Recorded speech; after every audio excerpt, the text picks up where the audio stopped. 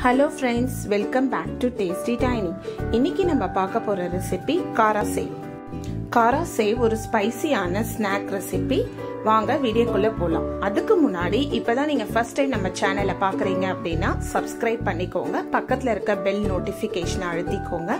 ஆல்ன்ற பட்டனை கிளிக் பண்ணீங்கன்னா நான் போடுற வீடியோஸோட நோட்டிபிகேஷன்ஸ் உங்களுக்கு வரும்.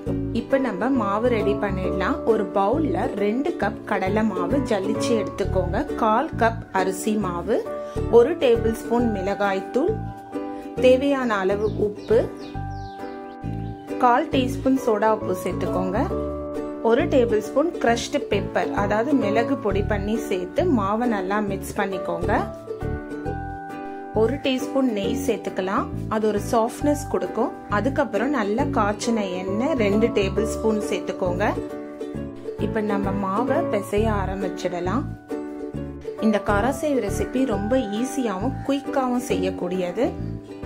கொஞ்சம் கொஞ்சமாக தண்ணி ஆட் பண்ணி மாவு ரெடி பண்ணிடலாம். காரம் சேவ் கொஞ்சம் கிறிஸ்பியாக வேணுன்றதுனால தான் நம்ம கொஞ்சம் அரிசி மாவு சேர்த்துக்கிறோம். இப்போ வந்து மாவு ஆல்மோஸ்ட் ரெடி ஆயிடுச்சு. இந்த ரெசிபியில் நம்ம பெப்பரை க்ரஷ் பண்ணி போடுறதுனால தான் நம்மளுக்கு ஒரு தனி டேஸ்ட் வருது. மாவு வந்து டைட்டாக பிசைஞ்சிடாதீங்க. கொஞ்சம் தலை தலைன்னு இருந்தால் நம்ம முறுக்கு பிழிய ஈஸியாக இருக்கும். காரம் சேவ் செய்ய இந்த முறுக்கு தட்டை யூஸ் பண்ணிக்கலாம். முறுக்கு குழாவும் ரெடி பண்ணியாச்சு. இதில் கொஞ்சம் ஆயில் அப்ளை பண்ணிக்கோங்க. இப்போ நம்ம அடுப்பில் கடாய் வச்சு ஹீட் ஆனவுடனே ஃப்ரை பண்ணுற அளவுக்கு எண்ணெய் சேர்த்துக்கோங்க.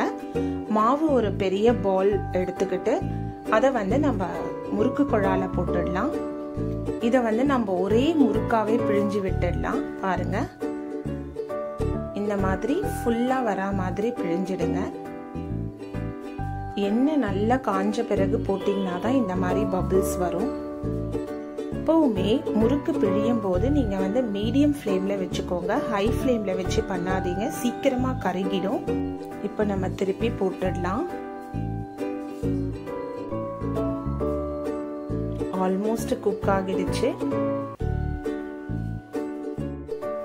இப்போ நம்ம எடுத்து பிளேட்டில் வச்சிடலாம்.